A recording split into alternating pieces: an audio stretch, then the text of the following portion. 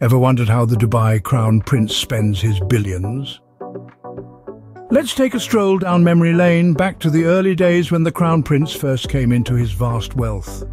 Unsurprisingly, he didn't immediately rush to the nearest luxury car dealership or high-end jewellery store. Instead, he started off on a conservative note, pouring his newfound wealth into local businesses and infrastructure. He saw the potential in his homeland and sought to cultivate it, fostering growth that would benefit his people for generations. But let's not forget, he is a prince after all. His first major luxury splurge? A private jet. A symbol of status, power and convenience, it was the Crown Prince's initial step into the world of opulence. So the Crown Prince's early days of wealth were marked by conservative spending and investment in his country. But as his wealth grew, so did his appetite for luxury. As the Crown Prince's wealth continued to grow, so did his taste for the finer things in life. His growing affluence was mirrored by the acquisition of opulent assets, from state-of-the-art cars to colossal yachts, and high-end real estate in the most sought-after corners of the globe. His fascination with luxury was not limited to material possessions. The world of horse racing, a sport synonymous with class and grandeur, had also caught his attention. Indeed, his passion for the sport led him to purchase a championship-winning horse for a staggering sum, smashing previous records. His commitment to indulgence was not merely about showing off his wealth, but rather a testament to his dedication to living life to its fullest, surrounded by the beauty and elegance money could buy.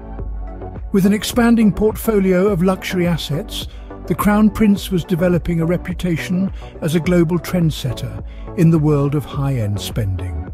Yet, the Crown Prince's spending isn't just about luxury, he's also a significant philanthropist and investor.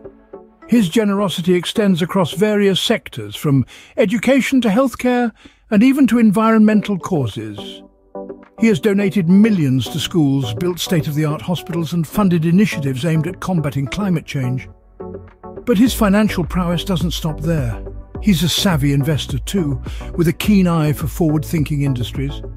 From tech startups revolutionizing the digital world to renewable energy ventures pushing the boundaries of sustainability, the Crown Prince has a diverse portfolio.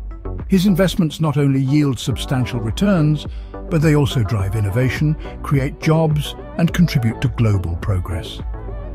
So, while the Crown Prince certainly enjoys his luxurious lifestyle, he's also committed to making a difference in the world through his philanthropic and investment efforts. His actions echo a sentiment that wealth isn't just about living lavishly, but also about fostering positive change and progress. Today, the Crown Prince's spending habits continue to evolve, reflecting both his personal interests and his commitment to his country and the world. In recent years, a shift can be observed in the Crown Prince's expenditures. While he still maintains an undeniable taste for luxury, his financial ventures have taken on a more global perspective. He has demonstrated this through significant investments in renewable energy projects and technological startups, not just in Dubai, but around the world. His recent purchases, notably a collection of rare historical artifacts, also hint at a growing interest in preserving cultural heritage. Yet philanthropy remains a cornerstone of his spending.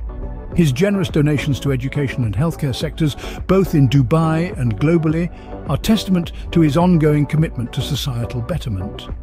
From his early days of wealth to the present, the Dubai Crown Prince's spending habits offer a fascinating glimpse into the life of one of the world's wealthiest individuals.